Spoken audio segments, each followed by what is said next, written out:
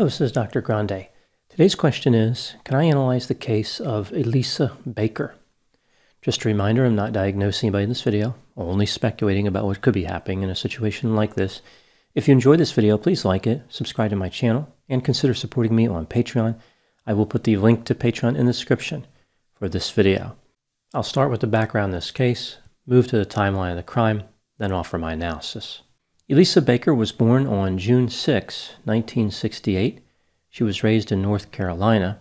Her parents worked in textile mills and furniture factories. Elisa had a history of deceptive behavior and manipulation starting at a young age. She rebelled against her parents in her teenage years. Her mother responded using physical force. Her mother appeared to be the disciplinarian, and her father was more laid back. Elisa was popular in high school, but dropped out before graduating she struggled with obesity. At one point, she weighed 300 pounds. Lisa was married six times when she lived in North Carolina. She was married in 1985, 1987, 1992, 1995, 1997, and 1998. Elisa did not always divorce a husband when she left. During one three year period, she had three husbands simultaneously.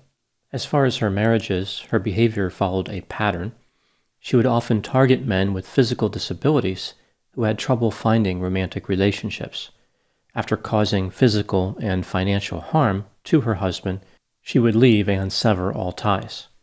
By 2008, Elisa had a series of small claims judgments against her, liens from landlords, as well as bills from utility companies and other companies.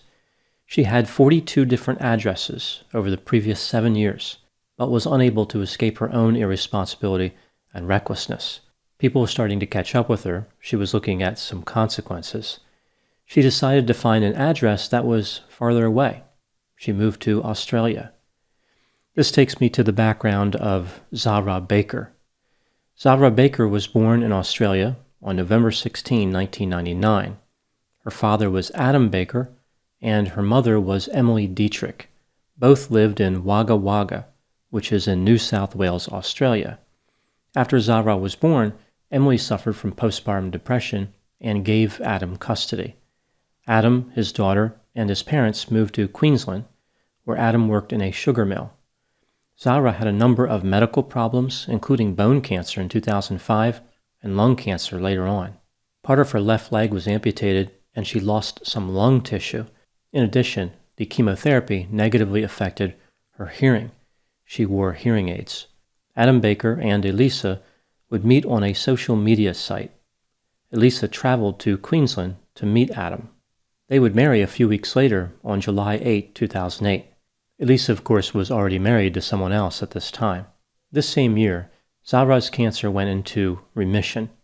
The family moved from Australia to the United States. They lived in a few towns in North Carolina, eventually ending up in a trailer park in Hickory. Zahra attended public school for a short time until reports of mistreatment were made to the school. Elisa was the alleged perpetrator. She pulled Zahra out of school and indicated she would be homeschooled. At this point, Zahra was in fourth grade. Child Protective Services visited Zahra's home many times through the course of investigating four separate complaints. Elisa was well known to the Department of Social Services she had been investigated about complaints related to her biological children starting in 1999. Now moving to the timeline of the crime. On October 9, 2010, at 5:30 a.m., Elisa Baker called 911. She reported a fire behind her residence. The police arrived and found a fire in the Chevrolet Tahoe owned by the company that Adam worked for. They extinguished it quickly. They also found a ransom note. At 2 p.m. that same day, Adam Baker placed a 911 call. He said his daughter was missing. The last time he saw her was 2:30 a.m. He found a ransom note for $1 million on his company SUV the night before. It was addressed to his landlord, a man named Mark Coffey, but Adam believed the kidnapper made a mistake and took Zahra instead. Adam said he found the note when there was a fire in his backyard. He suggested that the kidnapper may have used the fire as a distraction. The next day, the police brought in search and rescue dogs to search the Bakers' house and vehicles. The dogs gave a positive alert indicating they detected remains on not only the Chevrolet Tahoe, but a sedan owned by Elisa. She was arrested for a variety of crimes like larceny, driving with a revoked license, and writing bad checks. These are crimes unrelated to Zahra's disappearance. When Elisa was in jail, she admitted that she wrote the ransom note. She was additionally charged with obstruction of justice. Elisa's lawyer contacted the authorities on October 23, 2010, and said that Elisa would tell the truth in exchange for a charge of murder in the second degree. The prosecution agreed because at this point they didn't have a body and they really didn't have much of a chance of getting a conviction against Elisa. Here is Elisa's story about what happened. Zahra died on September 24, 2010. This was not a murder. She died from an illness. It was unexpected.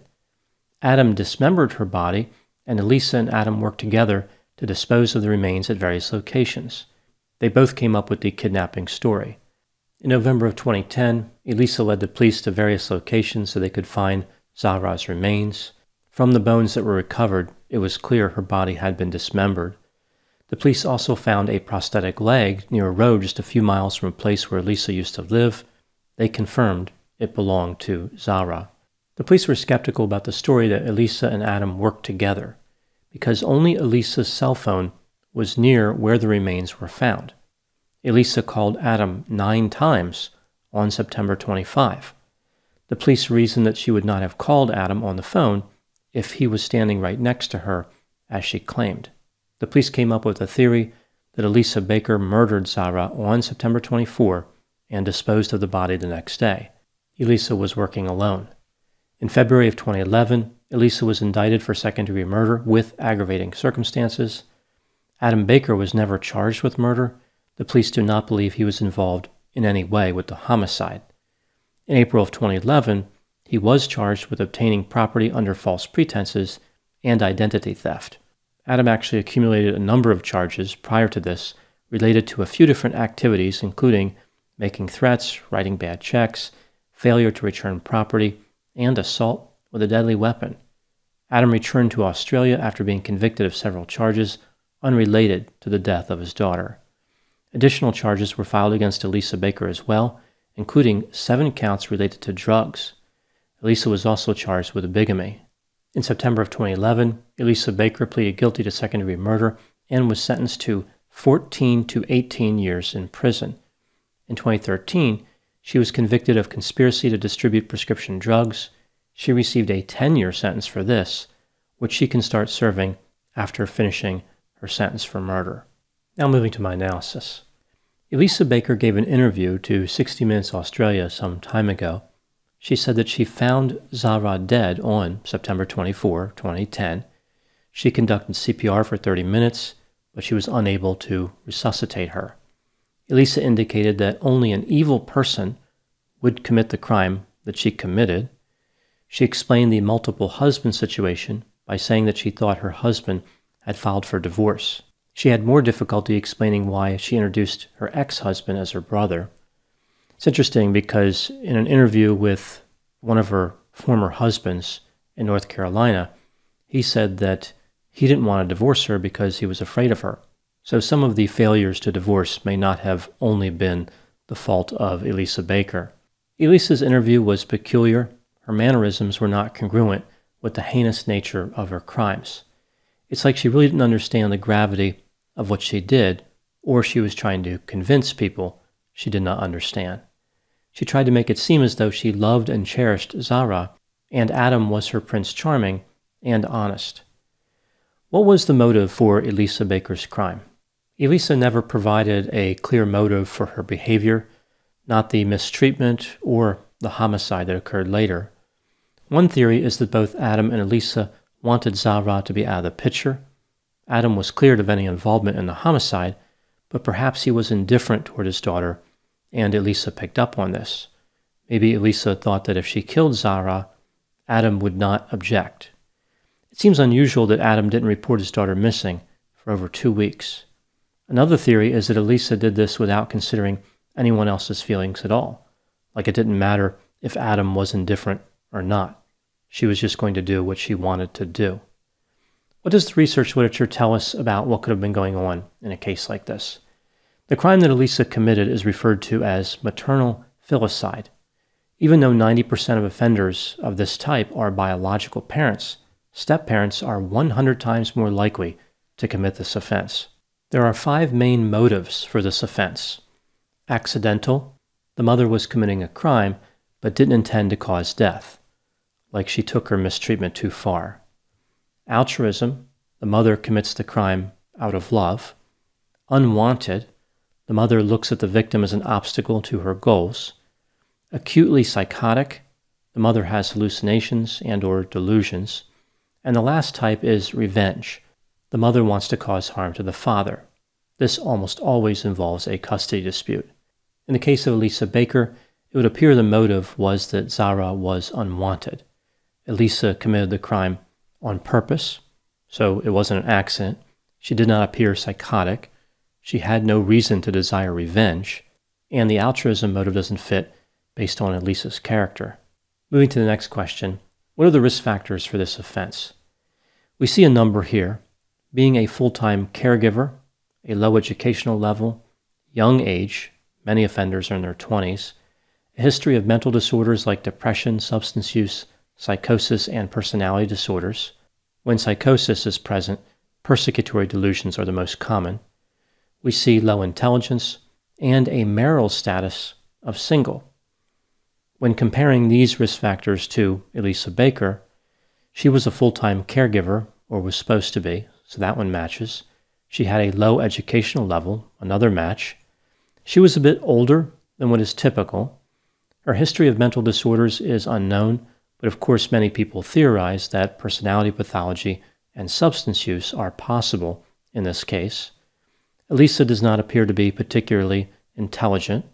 Her marital status was not single, she was actually married to a few different people at the same time. That's not even a category that's measured in the studies because it's so rare.